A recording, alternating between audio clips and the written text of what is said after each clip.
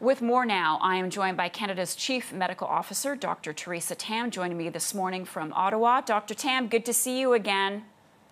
Good morning, Marcia. How are you? I'm doing well. I'm in Ontario, so I'm happy to see things starting to ease up, but I want to get your characterization to begin of how we're doing in Canada against the fight against COVID 19. People are getting vaccinated as quickly as they're being rolled out. Case counts and hospitalizations are down. I don't need to tell you that. Provinces are reopening, yet we still, doctor, have the Delta variant hanging around like a bad smell that won't go away. So, where are we? Well, I also have a great sense of optimism at this point. Um, as you said, the epidemic is generally well under control, but not every part of Canada is the same. Uh, Manitoba's uh, had their third wave a little bit later than everybody else, so they're still having to manage a lot of patients in hospitals and the ICU. Um, and there are parts of Ontario still that have uh, more activity than other parts. So it's not all the same for everyone everywhere.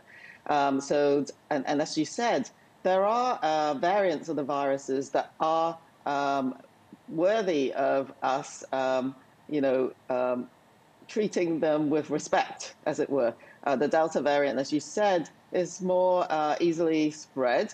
So um, it will find pockets of under immunized uh, populations um, and uh, those who are not fully vaccinated.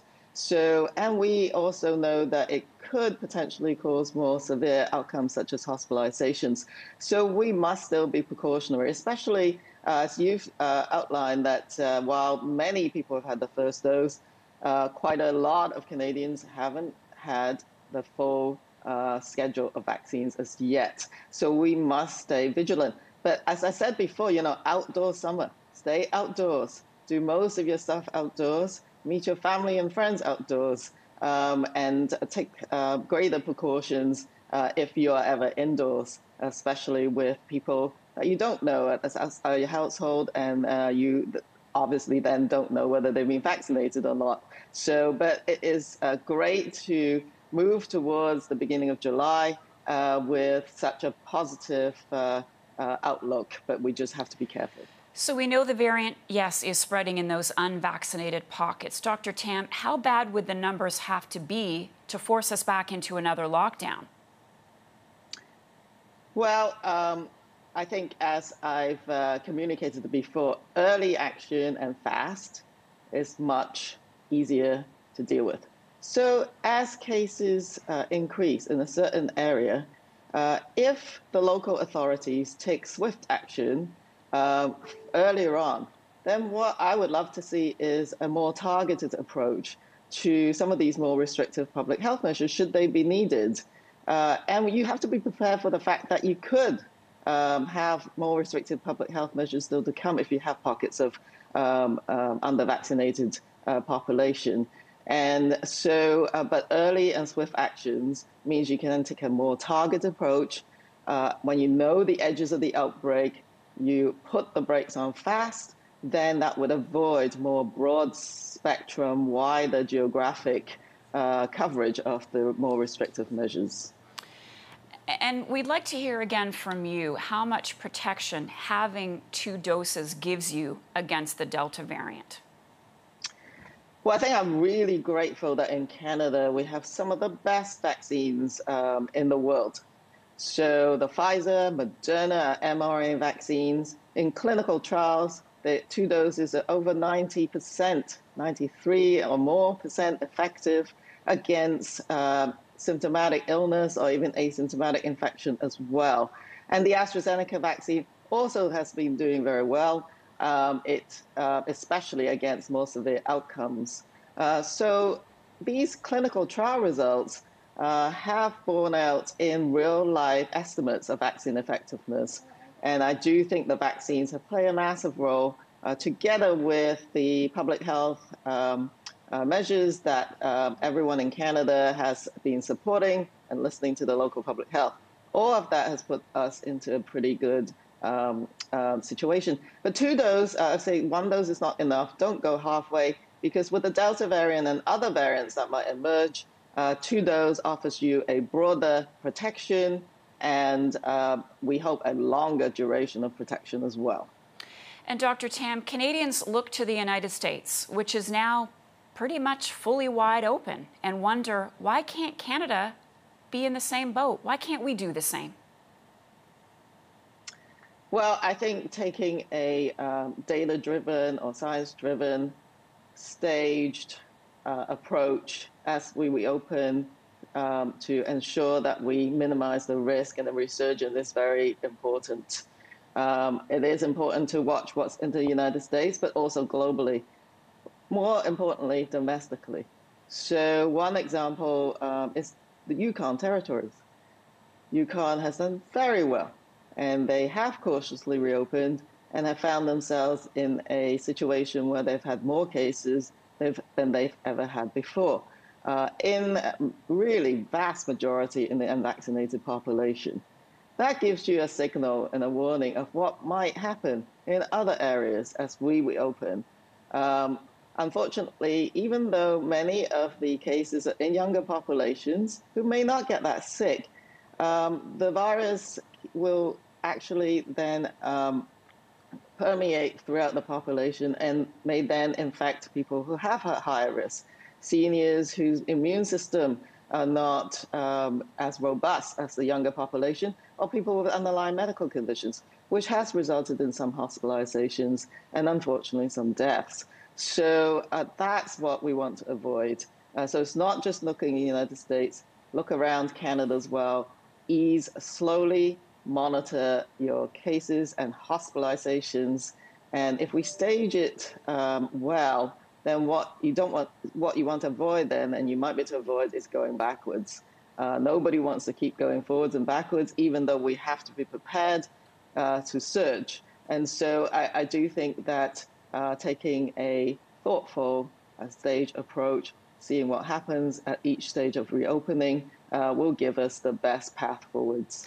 So, are you personally comfortable with the reopening um, in this country? Every province is at a different stage or a different phase, some more open than others, but are you comfortable with where we are, or do you think that some provinces are moving too fast, given what you've just outlined?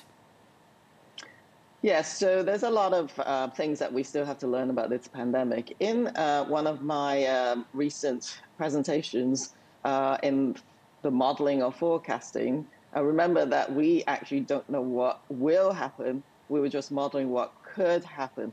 So in those scenarios, and then with the Delta variant built in, we know you can maybe to begin lifting some of the restrictive measures when you get past that 75% first dose and get past that 20% second dose, you can begin to lift some of the restrictive measures.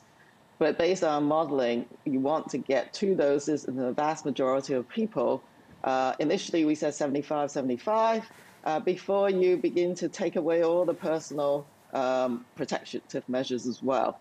But that is not, again, I said the same everywhere and uh, every place. Canada is a vast country and they have different epidemiology.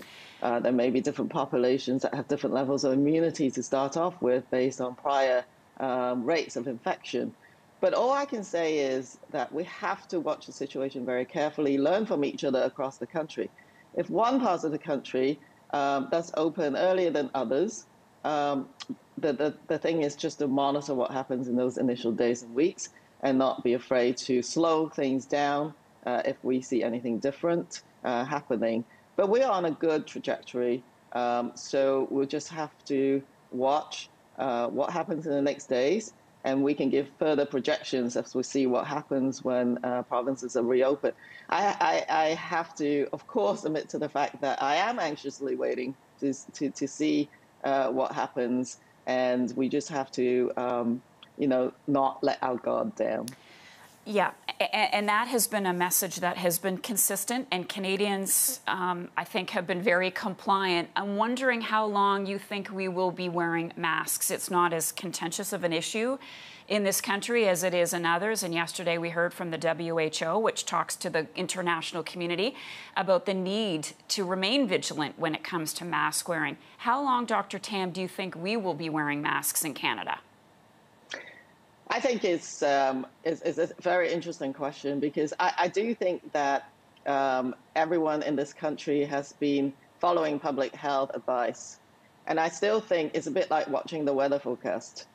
We have to watch what's going on uh, with virus activity in, in lo- local communities.